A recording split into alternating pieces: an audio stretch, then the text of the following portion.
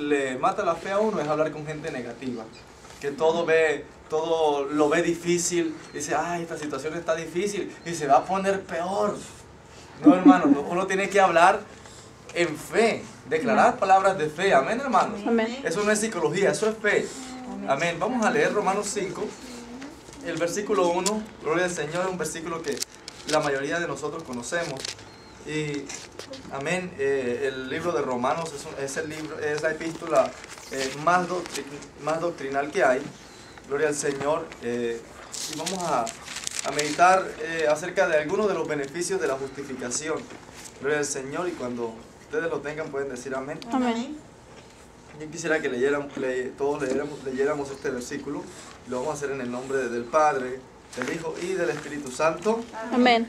Dice, justificados pues por la fe, tenemos paz para con Dios, por medio de nuestro Señor Jesucristo. Vamos a pedir que nuestra hermana Gissi nos dirija en oración.